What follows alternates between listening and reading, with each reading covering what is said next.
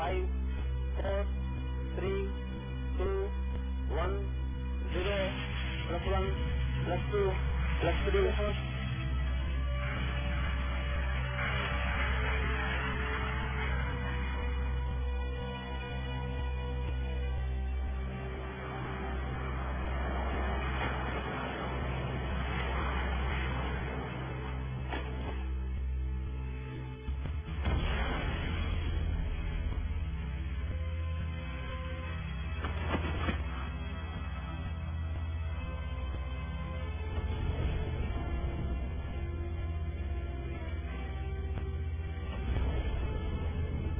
PSLV XL will inject Chandrayaan-1 into an elliptical transfer orbit ETO.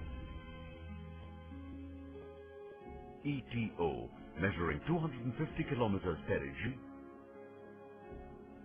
and 22,000 kilometers apogee. PSLV will inject the Chandrayaan into this orbit at a velocity of 9.89 kilometers per second.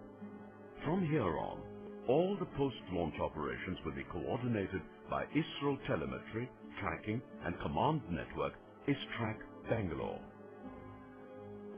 The existing network of ISTRAC ground stations, along with support from foreign agencies, will track and communicate with Chandrayaan-1 during its journey towards the Moon. The orbital period of the spacecraft in ETO-1 is six and a half hours.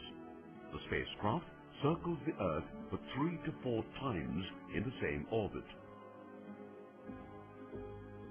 The LAM is fired near perigee, which increases the apogee to 40,000 kilometers and enables Chandrayaan-1 to go into the second extended transfer orbit, ETO-2. The orbital period of the spacecraft increases to 18 hours.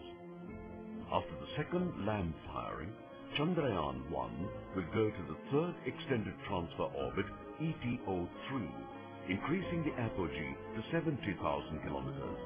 The orbital period will be 24 hours. Chandrayaan-1 will be put into an elliptical orbit where the apogee will match with the distance of Moon from Earth. Satellite will take 11 days to complete one revolution in this orbit. During subsequent revolution, a trajectory correction for approach to Moon will be carried out. Beyond the 100,000 kilometers, the ground stations of the Deep Space Network will provide support to the mission. From here, the spacecraft will coast along for about five and a half days before it reaches the vicinity of the Moon. The newly established Indian Deep Space Network, having 18 and 32 meter antennae at Byalalu, near Bangalore, is a very unique facility, having several critical technologies established for the first time in the country. The 32 meter antenna and the associated electronic equipment has been designed and developed for ISRO by Electronic Corporation of India Limited, ECIL. ISRO Satellite Center supplied the feed subsystem. On-site installation and commissioning are executed by ISRO Telemetry and Tracking Command Center, ISTRAC. Operating in S and X bands, the 32-meter antenna is capable of receiving extremely weak signals from the spacecraft, which are millions of kilometers away from Earth in deep space, and can also send very strong signals to the spacecraft. An 18-meter diameter antenna working in S and X bands will also support the mission. The Indian Deep Space Network antennae can be operated remotely from ISTRAC Network Control Center at Bangalore through a monitoring and control system. As Chandrayaan-1 spacecraft travels into deep space, mid-course corrections will be carried out as and when required. When the spacecraft is about 500 kilometers from the lunar surface, a major maneuver called Lunar Orbit Insertion, LOI, is performed. Chandrayaan-1 will achieve its final moon orbit 20 days after the launch. After this, Chandrayaan-1 will enter into an elliptical orbit around the moon, with the nearest point being about 500 kilometers from the lunar surface and farthest point being about 5,000 kilometers.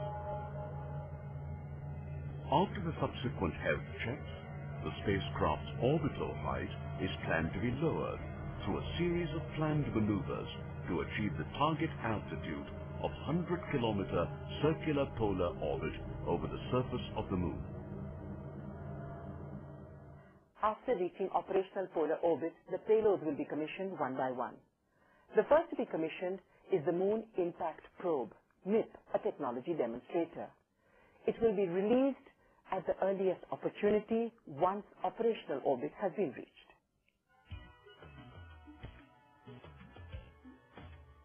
After its release from the spacecraft, the retro rocket of MIP will be fired and it will slowly start its descent to the lunar surface. During the descent, MIP's video imaging system will acquire images of the surface of the moon. The mass spectrometer will measure the constituents of thin lunar atmosphere and the radar altimeter will provide instantaneous altitude and hence give inputs for future Indian soft landing missions. Thereafter, MIP will impact on an identified area in the south polar region of Moon.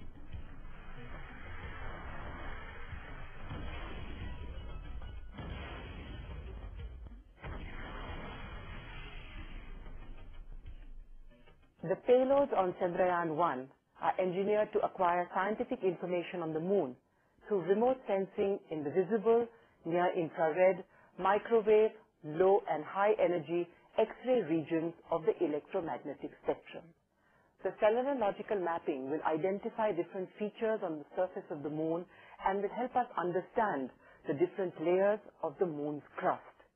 TMC and LLRI will carry out topographic mapping of the lunar surface. TMC will take three-dimensional black and white imagery of the lunar surface with a resolution of about 5 meters. LLRI will provide accurate altitude or height information of the spacecraft above the lunar surface for topography and gravity mapping.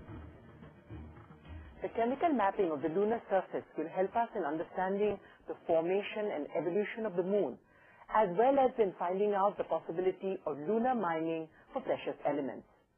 SIX and HEX will carry this out. SIX will measure fluorescent X-rays coming from the moon from lighter elements like magnesium, aluminium, silicon, calcium, and iron.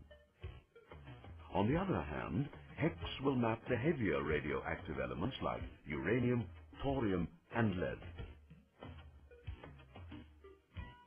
High-resolution maps revealing mineral composition will help us in understanding the early evolution of the moon, provide information on lunar resources, and support the planning of future missions. HySI, SIR-2, and M3 will provide these maps. HySI will rely on the visible and near-infrared rays reflected from the moon and will slice the incoming light into 64 parts to observe many specific details. SIR-2 will help to analyze lunar surface and to study the vertical distribution of lunar crustal material. Besides, it investigates the process of basin, maria, and crater formation on the moon, and it will survey moon's mineral resources. Similarly, M3 will explore lunar mineral composition in the context of moon's evolution. RADOM will measure the nature and composition of the radiation in the vicinity of the moon. This data will help us in assessing the radiation shielding requirements for future human missions. RADOM will qualitatively and quantitatively measure the particle flux, deposited energy spectrum, accumulated absorbed dose rates in lunar orbit. SARA will be the first ever energetic neutral atom imaging mass spectrometer to be used for planetary.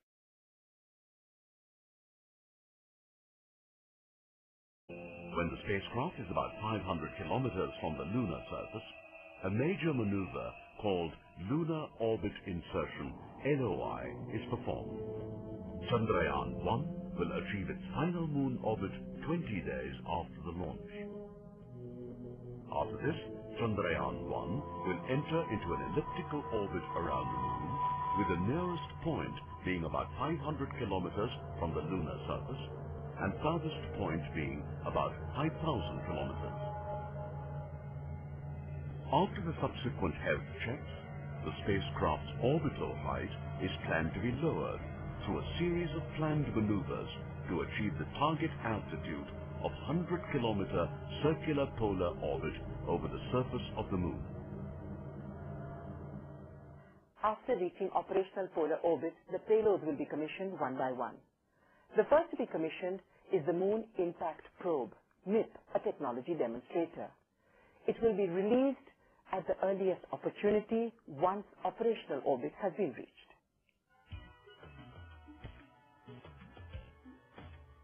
After its release from the spacecraft, the retro rocket of MIP will be fired and it will slowly start its descent to the lunar surface.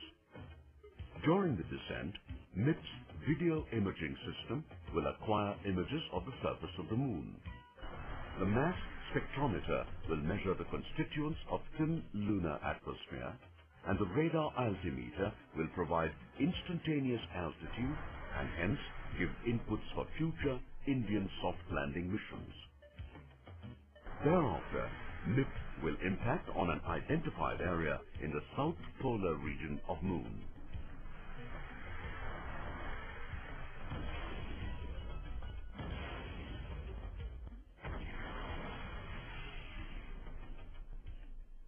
The payloads on Chandrayaan-1 are engineered to acquire scientific information on the moon through remote sensing in the visible, near-infrared, microwave, low and high energy X-ray regions of the electromagnetic spectrum. The selenological mapping will identify different features on the surface of the moon and will help us understand the different layers of the moon's crust. TMC and LLRI will carry out topographic mapping of the lunar surface. TMC will take three-dimensional black and white imagery of the lunar surface with a resolution of about 5 meters. LLRI will provide accurate altitude or height information of the spacecraft above the lunar surface for topography and gravity mapping. The chemical mapping of the lunar surface will help us in During subsequent revolution, the trajectory correction for approach to Moon will be carried out.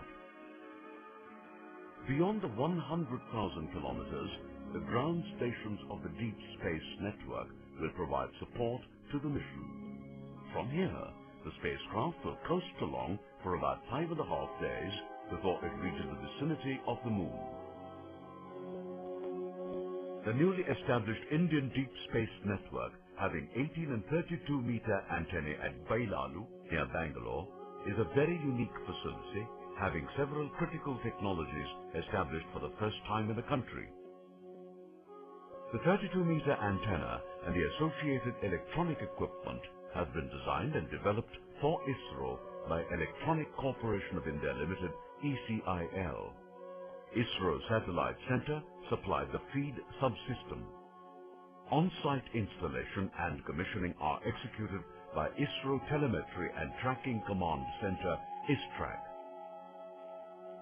Operating in S and X bands, the 32-meter antenna is capable of receiving extremely weak signals from the spacecraft, which are millions of kilometers away from Earth in deep space, and can also send very strong signals to the spacecraft. An 18-meter diameter antenna working in S and X bands will also support the mission. The Indian Deep Space Network antennae can be operated remotely from ISTRAC Network Control Center at Bangalore through a monitoring and control system. As Chandrayaan-1 spacecraft travels into deep space, mid-course corrections will be carried out as and when required. When the spacecraft is about 500 kilometers from the lunar surface, a major maneuver called Lunar Orbit Insertion, LOI, is performed. Chandrayaan-1 will achieve its final moon orbit 20 days after the launch. After this, Chandrayaan-1 will enter into an elliptical orbit around the moon, with the nearest point being about 500 kilometers from the lunar surface and farthest point being about 5,000 kilometers. After the subsequent health checks, the spacecraft's orbital height is planned to be lowered through a series of planned maneuvers to achieve the target altitude of 100 kilometer circular polar orbit over the surface of the moon. After reaching operational polar orbit, the payloads will be commissioned one by one. The first to be commissioned is the Moon Impact Probe, MIP, a technology demonstrator. It will be released at the earliest opportunity Network ISTRAC Bangalore. The existing network of ISTRAC ground stations, along with support from foreign agencies, will track and communicate with Chandrayaan-1 during its journey towards the moon. The orbital period of the spacecraft in ETO-1 is six and a half hours. The spacecraft circles the Earth for three to four times in the same orbit.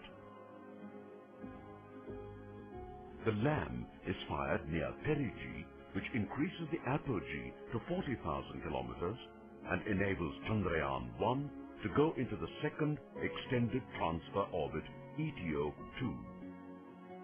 The orbital period of the spacecraft increases to 18 hours. After the second LAM firing, Chandrayaan-1 will go to the third extended transfer orbit, ETO-3, increasing the apogee to 70,000 kilometers. The orbital period will be 24 hours. Chandrayaan-1 will be put into an elliptical orbit where the apogee will match with the distance of Moon from Earth. Satellite will take 11 days to complete one revolution in this orbit. During subsequent revolution, the trajectory correction for approach to Moon will be carried out. Beyond the 100,000 kilometers, the ground stations of the Deep Space Network will provide support to the mission. From here, the spacecraft will coast along for about five and a half days before it reaches the vicinity of the Moon. The newly established Indian Deep Space Network, having 18 and 32 meter antennae at Byalalu, near Bangalore, is a very unique facility, having several critical technologies established for the first time in the country. The 32 meter antenna and the associated electronic equipment has been designed and developed for ISRO by Electronic Corporation of India Limited, ECIL. ISRO Satellite Center supplied the feed subsystem. On-site installation and commissioning are executed by ISRO Telemetry and Tracking Command Center, ISTRAC. Operating in S and X bands, the 32-meter antenna is capable of receiving extremely weak signals from the spacecraft, which are millions of kilometers away from Earth in deep space, and can also send very strong signals to the spacecraft. An 18-meter diameter antenna working in S and X bands will also support the mission. The Indian Deep Space Network antennae can be operated remotely